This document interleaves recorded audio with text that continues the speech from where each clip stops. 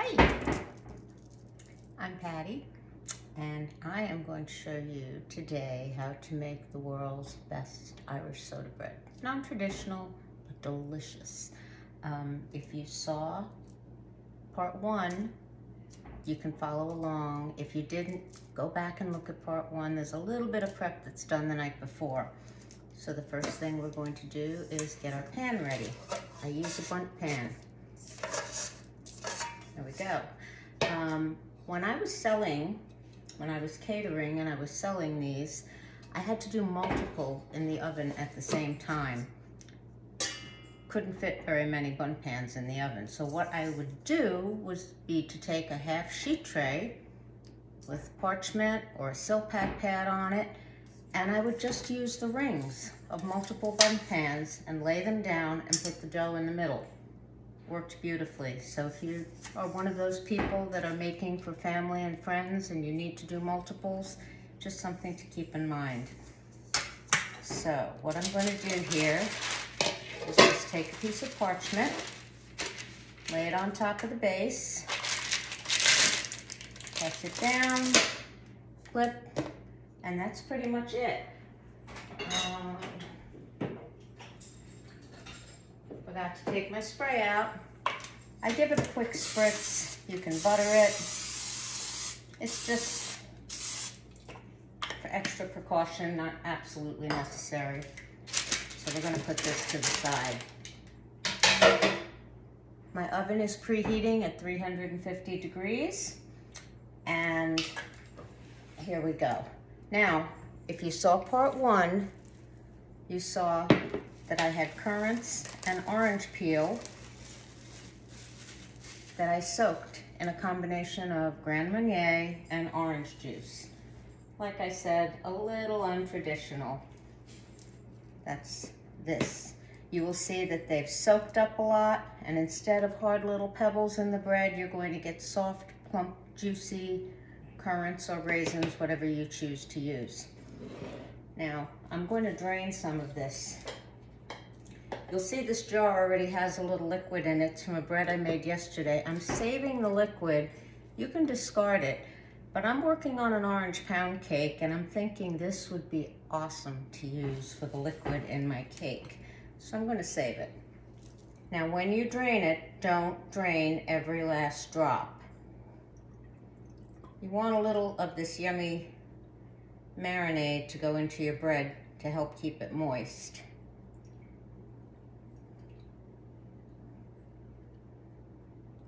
There we go. That's pretty much it. Put that off to the side. This will go in the fridge. Okay, first thing we do is four and a half cups of all-purpose flour. I had someone ask me if I've ever made this with any other kind of flour. She specifically mentioned cassava. Um, I have not. When I developed this recipe, I just used good old King Arthur's. Um, I was doing it for my catering business and it was more general public that was purchasing. Um, but if you have dietary restrictions, you might want to try it. I might actually try it. I have multiple flours in my pantry. Uh, brown rice, coconut, all kinds. So I may just give it a try. Four,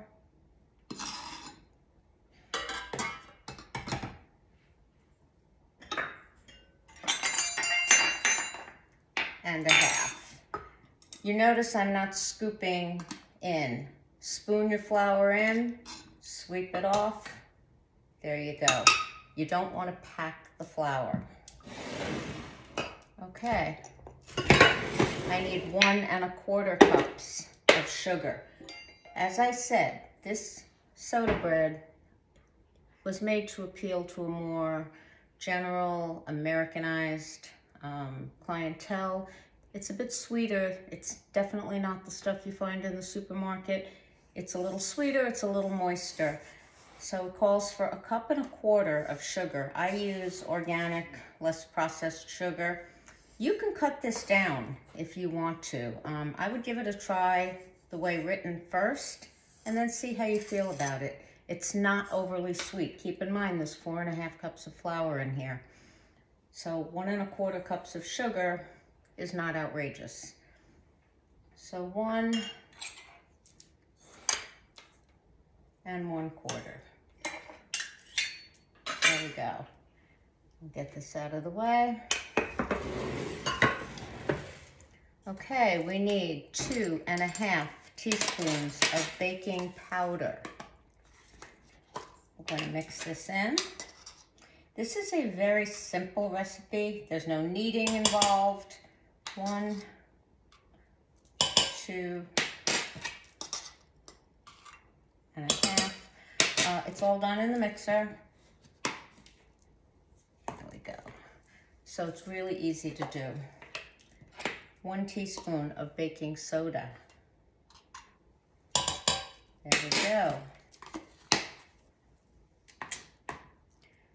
And a half a teaspoon of salt. I use sea salt, whatever your preference is. I've also done it with Himalayan pink salt, uh, which I use a lot. Okay. I'm going to put this down and just give it a quick stir on low so I don't wear it to mix the ingredients. Okay. Now, here's where I dump in the currants with that bit of liquid. There we go. I actually think I'd like just a hair more of that liquid. That was a little bit dry for my taste.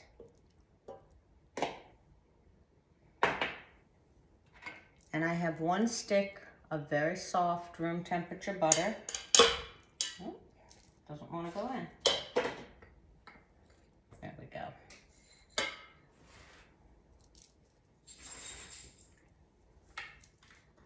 And I'm going to give that a quick stir.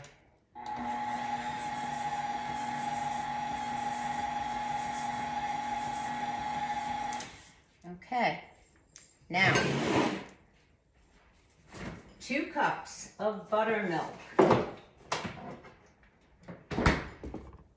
I managed to score whole milk buttermilk at our local supermarket. I know when I was in New York, all I could find was low fat, and that worked just fine. So totally up to you. I like the richness of the whole milk. Okay. Wow, this buttermilk really needs a shake very thick. There we go. We need two cups. Okay. And I need a half a cup of heavy cream. Oh, would help if I opened it, wouldn't it?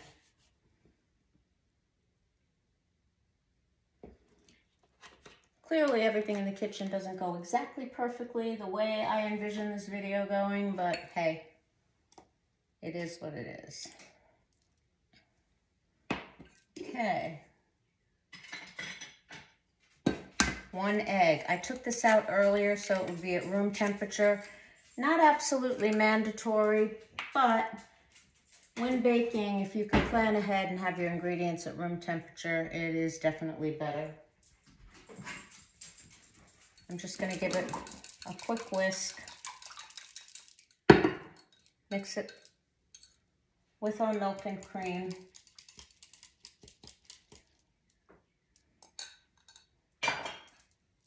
On low, I have it set at about a two right now, and I'm going to pour this in. And I'm wearing it.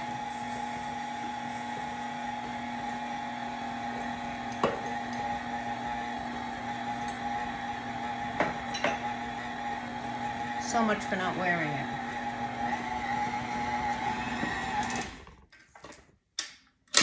Lift it up. I just want to scrape down the sides and give it one more mix.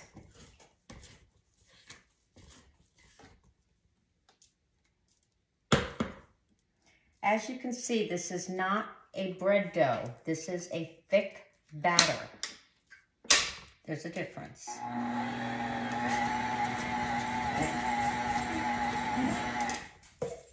Okay. And you can hear our puppy going crazy because she sees someone walking outside. Nova, go lay down. She's six months old and thinks the entire world wants to play with her. Doesn't understand why she can't be outside greeting the world as they pass our house.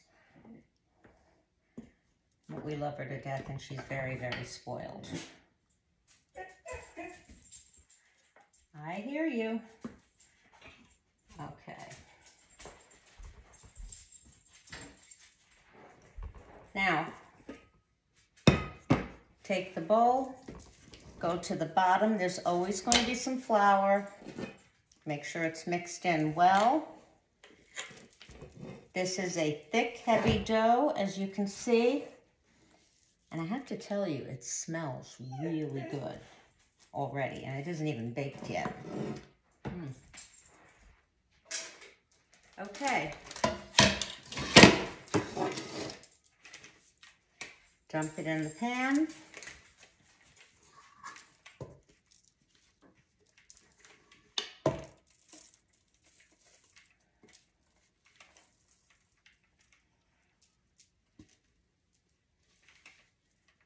You can see how thick this is, and I can't tell you how heavy it is. I will tell you that when it's baked, this loaf is about three and a half to four pounds.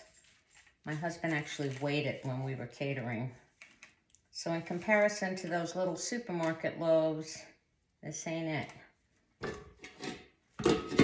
Okay. It doesn't need to go to the edge of the pan. Trust me, it will do that on its own. Now, this is what I do. Hang on one second.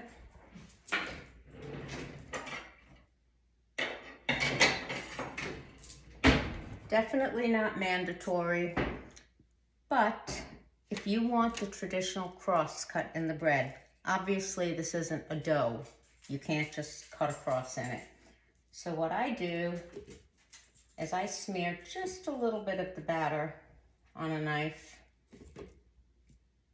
My own little hack. And I tap some flour onto it. Don't dump your knife in the flour bowl. That would not be good. There you go, the knife is floured. And I just give it a quick cut through and try to separate just a little bit.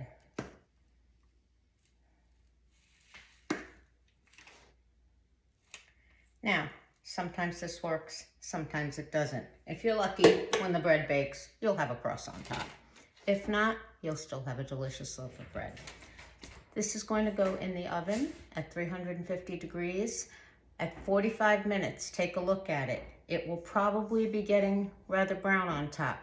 Take a small piece of aluminum foil, just lay it on top of the pan and keep going. It's going to take somewhere between 60 and 90 minutes, depending on your oven. In my oven, it takes a good 80 to 85 minutes. The internal temperature of the bread needs to be 190 degrees. When it hits 190, pull it out before it dries out. I use a thermometer to be absolutely sure. I got in the habit of that when I was catering. I also have this little gadget which I've used and works pretty well. It's called a Bundt thermometer. You see it has a black tip.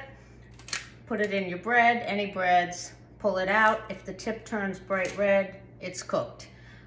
I found it's not always 100% accurate. I have had bread overcook a bit and I've had bread undercook a bit. So I really suggest the thermometer, but you do you. You could also just take a skewer or a knife, poke it all the way in, pull it out, make sure there are no wet bits on it. So it's going in the oven. I'll see you in about an hour and a half.